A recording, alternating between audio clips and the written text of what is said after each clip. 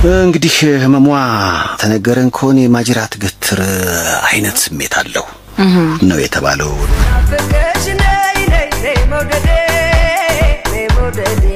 ቤት አመታቱ አሪፍ ነው። ጨዋ ግጥም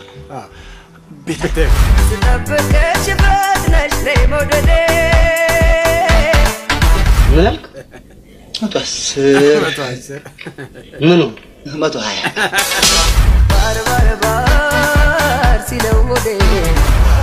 እሺ አክሱም ሐውልትስ? ወይ መናናቅ ሀያ ሁለት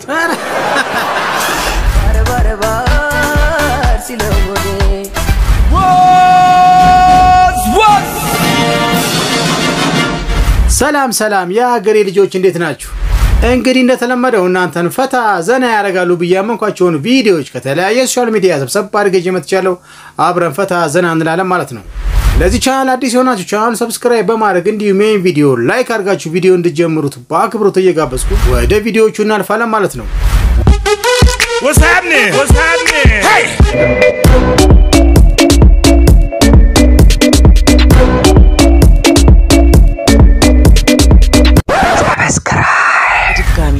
ሀሊማ ሆስፒታል ገባች የሚል ነገር አየን። እንግዲህ ምን እንደሆነ አልታወቀም እስካሁን ድረስ። አይረ ታውቋል። ከአሁን በፊትም በጣም የከፋ ስቃይ ያሳልፋለች። አሁንም እንግዲህ ብዙ ሰው እንዲሰማ አልተፈለገም እንጂ መስከረም ሁለት ቀን ነው ሆስፒታል የገባችው። ላለፉት 16 ቀናት እንግዲህ በሆስፒታል ነው ያሳለፈችው። እንግዲህ ህመሟ ተነገረን ከሆነ የማጅራት ገትር አይነት ስሜት አለው ነው የተባለው እና ሀሌሉያ ሆስፒታል ነበር የተኛችው። እንግዲህ በነገራችን ላይ በጣም በሚገርም ሁኔታ አንዳንድ ማህበራዊ ኃላፊነታቸውን የሚወጡ ሆስፒታሎች አሉ። ደሱ አድናቆት ይገባቸዋል። ለምሳሌ ሀሌሉያ ሆስፒታል ለሀሊማ የእድሜ ልክ ነጻ የሕክምና አገልጋሎት ሰጥቷታል። ባለፈው ይሄ በጣም ቀላል ነገር አይደለም። ምክንያቱም ሀሊማ ባለፈው እንግዲህ በድንገት ሙሉ ሰውነቷ አልታዘዝ ብሏት ሆስፒታል መግባቷ ሲሰማ በጣም አስደንጋጭ ነበረ። ብዙ ሰው ተረባርቦላታል። የጥበብ ሰዎች ብዙ ነገር አደረጉላት። ሆስፒታሉም እንደዚያው። ግን ድና ወጣች። ከዚያ በኋላ እንዲያውም የምስጋና ሙዚቃ ሰራችና ደስ ሲል ነበረ። ይሄ ታመምክ ተብሎ መዳንህ በማይሰማበት ዘመን የእሷ በዛ ደረጃ ታሞ መዳን በቃ ለብዙ ሰው ደስታን ፈጥሮ ነበረ።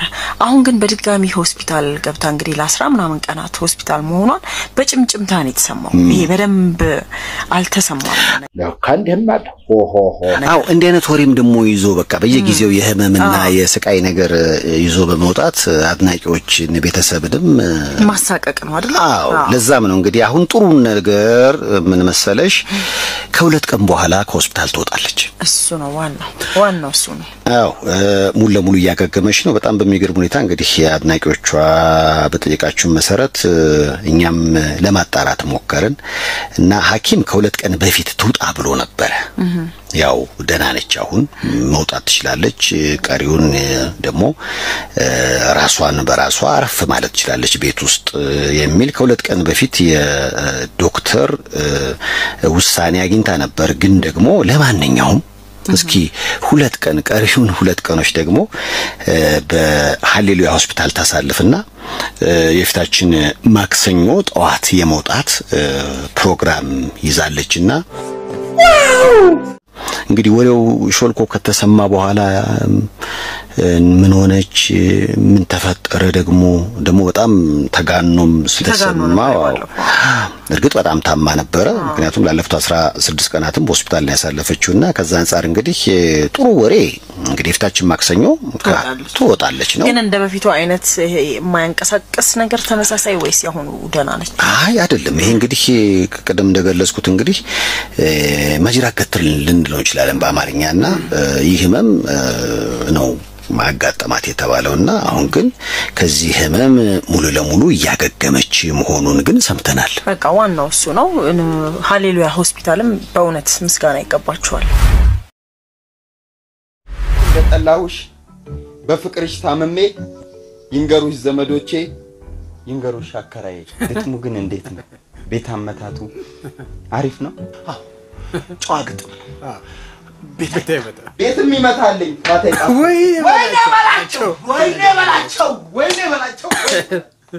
ምን የመሰልኩ ኮማንዶ ስራ በትቼ ቤት ብቀመጥ አንተ መጫወቻ ነው ወይኔ በላቸው! በላቸው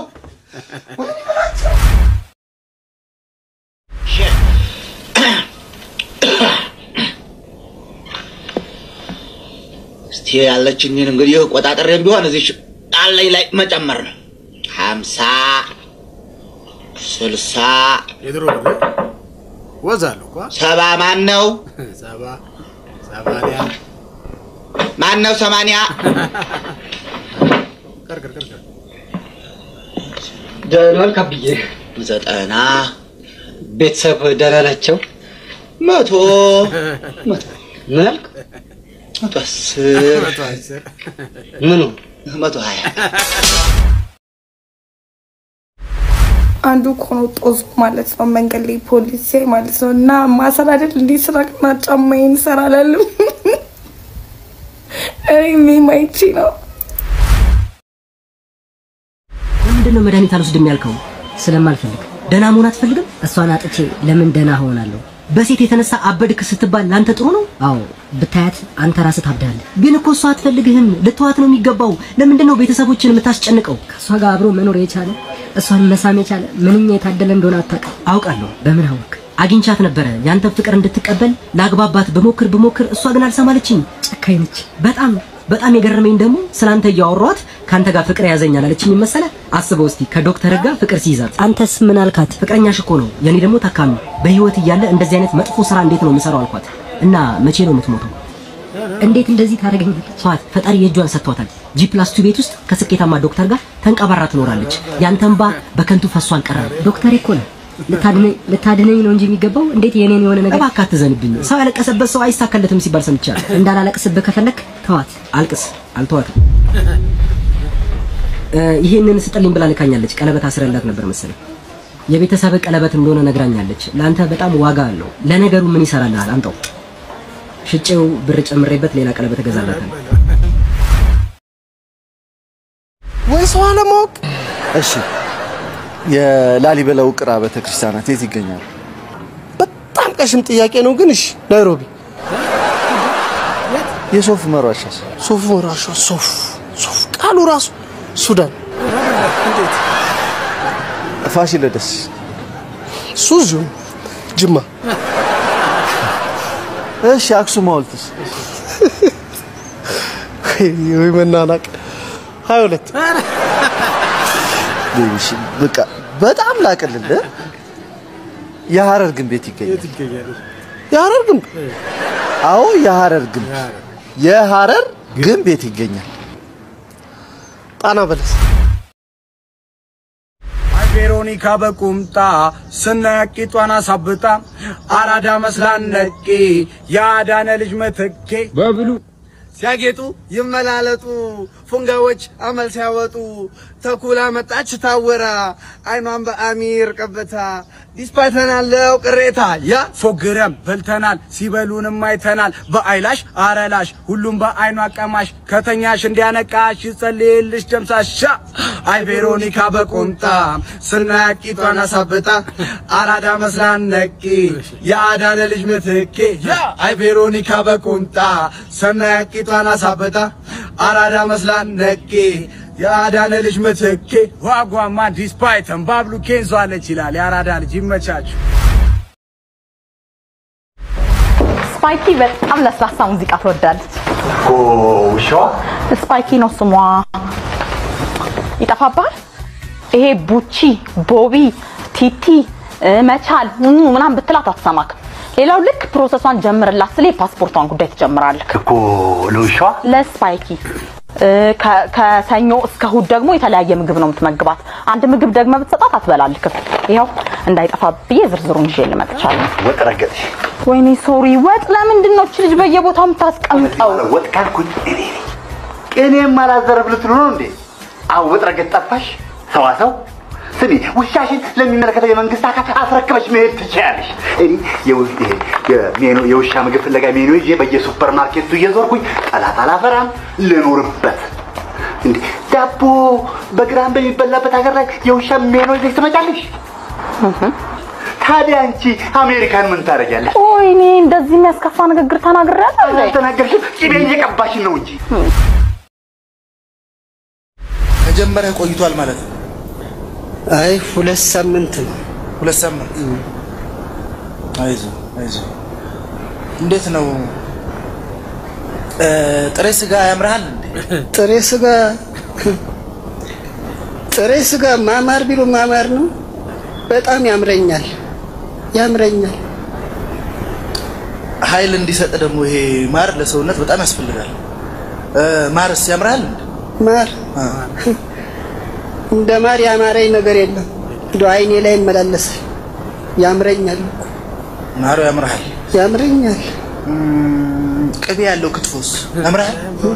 ክትፎ ስሙ ራሱ እንዴት መሰለ የሚያደርግ እንደ ክትፎ የሚያምረኝ ነገር የለም።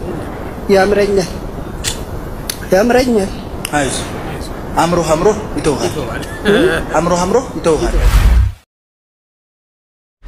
አንዱ አ፣ ማታ ማታ ስገባ ጅቦች አስቸገሩኝ፣ እባክዎ የሚታሰር ነገር ካለ ብሎ ጠንቋይ ጋር ይሄዳል። ጠንቋዩም እስኪ ጅቦቹን በቋንቋቸው እናናግራቸውና መፍትሄ እንፈልጋለን፣ ከሳምንት በኋላ ምሳችንን ይዘን አይሉታል። በሳ ከሳምንት በኋላ ሲሄድ ጠንቋዩ ምን ቢለው ጥሩ ነው ጅቦቹን በቋንቋቸው አናግረናቸው ነበር፣ መልስ ሰጥተዋል። እሺ ጌታዬ ምን አሉ? ከአህያ ጋር እየተመሳሰለብን ነው።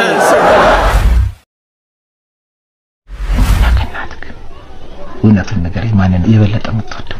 ሁለታችሁንም እሺ ቆይ አሁን እናትህ ወደ ሐዋሳ እኔ ወደ ሐረር ብንሄድ ማንን ተከተለ ትሄዳለህ? ወደ ሐዋሳ ሄዳለሁ። አሃ ይሄ ማለት እናትህን ከኔ የበለጠ ትወዳታለህ ማለት ነው። አይደለም ዳድ፣ ሐዋሳን በጣም ስለምወዳት ነው። አረ እሺ እኔ ወደ ሐዋሳ እሷ ወደ ሐረር ብትሄድ ማንን ተከተለ ትሄዳለህ? ወደ ሐረር ለምን? ምክንያቱም መጀመሪያ ወደ ሐዋሳ ሄጄ ነበረ። በጣም ትገርማለህ። አዝግ ልጅ እውነትም ስማ የጥርስ ብሩሽ ማን ያበላሸው? ያበላሸውን ሰው አይተሃል? አረ ቅድም ኳሴን ቀለም ስቀባበት ሰላም ነበር። ኳሴን ቀለም ስቀባበት ሰላም ነበር። የጥርስ ብሩሽ አንተ ነህ ያበላሽህልኝ እ ጥሩ ነው ጥሩ እያደግክ ነው። አበላለህም ጥሩ ነው። ብላ ብላ የበላ What's happening? What's happening? Hey!